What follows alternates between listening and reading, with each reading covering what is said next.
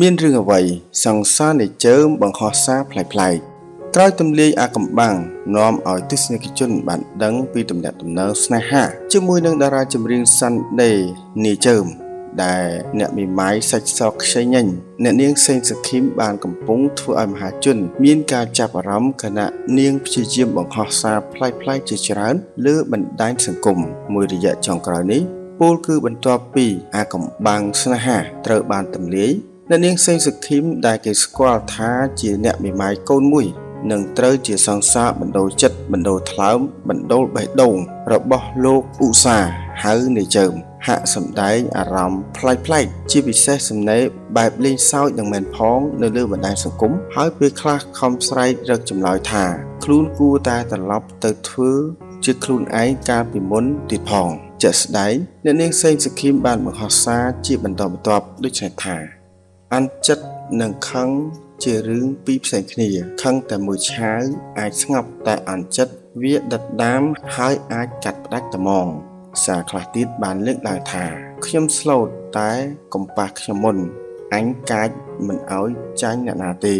សារខ្លះទៀតបានលើកឡើងថាខ្ញុំសុកចិត្តឲ្យអ្នកគិតថាខ្ញុំជាមនុស្សស្រី ចិត្តដាច់គ្មានហេតុផលព្រោះខ្ញុំខកបំណងនឹងអ្នកណាស់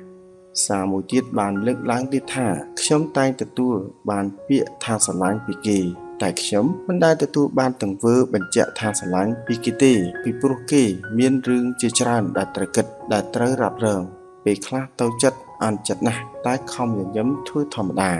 ពេលនៅក្បែរគ្នា យើងនិយាយពីរឿងគេធ្លាប់និយាយនឹងយើងគេថាយើងរករឿងពេលយើងមិននិយាយខ្លាចមានរឿងគេថាយើងរករឿងគេទៀត ជំរឿដែលល្អបំផុតគឺដែលចេញពីគេមនុស្សស្មោះត្រង់មិនមែនល្ងងទេ អ្នកដែលល្ងងគឺជាអ្នកដែលបោះបង់មនុស្សស្មោះត្រង់ត្រង់ចំណុចសារទាំងអស់នេះហើយមានបតិមួយចំនួន នៅមានចម្ងល់ច្រើនផងដែរថាតើស្រីស្រស់សេងសខីមមានបញ្ហាអ្វីឬចំណងស្នេហ៍ដែលទើបនឹងបើកបង្ហាញឲ្យគេឯងបានដឹងថ្មីថ្មី មានអ្វីមិនប្រក្រតីឬយ៉ាងណា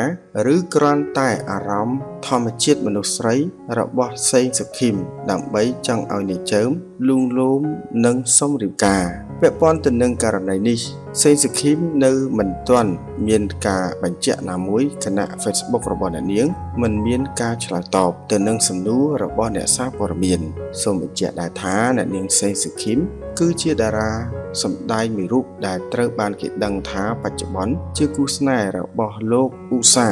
ហៅនៃជើមខណៈដែលថ្មីថ្មីនេះអ្នកទាំងពីរបើកចំហពីទំនាក់ទំនងនិងភាពផ្អែមល្ហែមជាច្រើន នៅលើបណ្ដាញសង្គមហើយនាង បានហៅនៃជើមថាប្តីពេញពេញមាត់ថែមទៀតផងបាទហើយចំពោះអត្ថបទព័ត៌មាននេះខ្ញុំបាទសូមបញ្ចប់តែប៉ុណ្ណេះជួបគ្នានៅវីដេអូក្រោយៗទៀតសូមអរគុណសូមគោរពលា